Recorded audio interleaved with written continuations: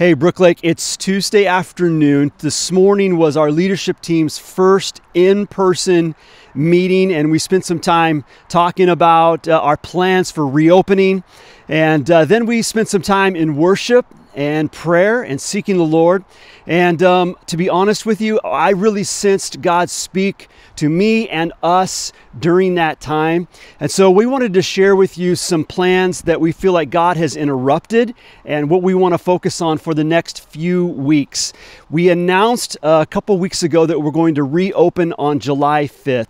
I'm here to tell you that that is not happening. A couple different reasons for that, primarily because we really feel like the Lord has spoken to us and redirected us to spend a few weeks, the month of July, seeking Him, gathering together virtually and coming together, c- continuing to stream. Um, we're going to gather one time in our parking lot for worship and prayer, but we really feel like God is saying to us, Look, I'm doing something, I'm doing something new, and I don't want you just to go back to normal. Normal is gone. We're going to come back eventually, obviously, and gather in person. But when we do, we want to be different. I want to be changed. I want the Lord have, to have done something deep inside of me. And we really feel like we need to take the next few weeks to seek Him. So we're going to be giving out some resources on fasting and prayer and devotions that we can all do together just to seek His face. We are going to be coming back together in person. And what we've learned over the last week from having our RSVP system in place is that not as many people are excited to come back as we thought. And maybe you, you're out there thinking, I already knew that. Well, we, uh, we've discovered that as well. That's not the primary decision, uh, reason for the decision, but it is a factor. Uh, we're not able to do kids ministry yet. We're not able to have the coffee shop open yet. There's a lot of things that we want to have in place.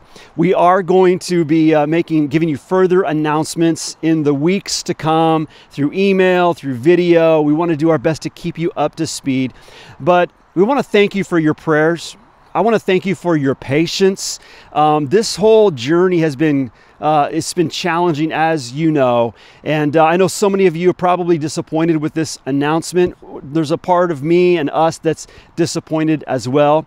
But as your pastor, if I can just ask for your confidence that we really feel like the Lord has spoken to us, and we want to take very intentionally these next few weeks to seek Him every single day. We'll be coming to you via digital uh, socials and emails and videos to guide our journey over the next few weeks as we seek the Lord. The Bible says to humble ourselves and pray and seek His face. And when we do, God will heal our land. And that is our heartbeat. Thank you guys. I love you so much. Thanks for your patience. Thanks for your confidence.